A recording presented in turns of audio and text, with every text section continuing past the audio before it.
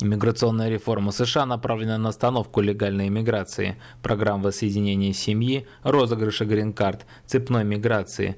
Кроме того, реформа коснется иммиграции через Мексику. Подача на убежище в США на границе останется в прошлом. Уже разработаны новые правила, по которым власти США будут депортировать заявителей в безопасную страну, через которую следовал даже транзитом гражданин, которого преследуют и который нуждается в помощи асилам, как это уже много лет работает в Евросоюзе. Например, вы приехали в Швецию через Финляндию, попросили убежище, вас 100% вернут обратно в Финляндию, и кейс будут рассматривать уже в Финляндии, при этом в Швецию вы уже никогда не сможете получить визу. Новые правила уже планируется ввести в действие с начала 2019 года. Мы переведем и опубликуем документы на наших медиаресурсах.